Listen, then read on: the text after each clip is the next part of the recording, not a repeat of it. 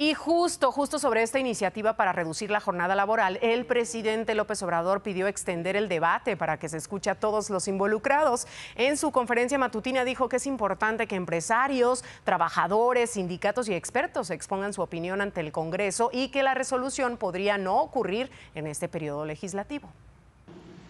Todavía no termina eh, el periodo legislativo, hay tiempo no es una cosa de resolverse el 12, que se dé tiempo y que incluso se invite a todos y se revise qué pasa en otros países.